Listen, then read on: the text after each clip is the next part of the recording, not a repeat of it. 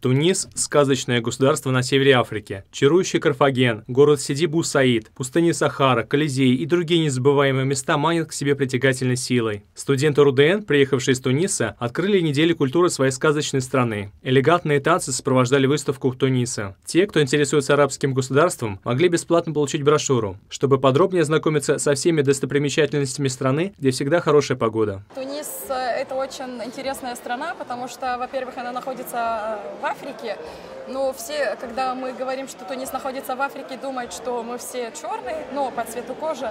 А на самом деле потом удив, удивля, удивились. То есть, э, как бы Э, для них это был, э, была информация новая. От других арабских стран Тунис отличает наличие французского языка, более открытая политика в отношении женщин. Хотя ислам, конечно же, является государственной религией, тем не менее представители других религиозных конфессий могут также свободно посещать различные храмы, приходить на праздники. У меня очень-очень-очень многих друзей, они все христианы.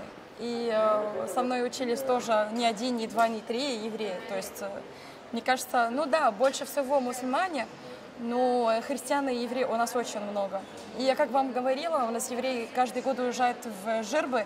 Можете э, заходить туда посмотреть, как у мусульманов есть аль-хадж, а у них есть грейба. Море положительных эмоций, вкусные, свежие финики, яркие пейзажи. Все это и многое другое можно было увидеть и прочувствовать на выставке землячества Туниса. А завершилась неделя культуры арабской страны праздничным концертом с обширной и динамичной программой. Телевидение РУДН. Новости.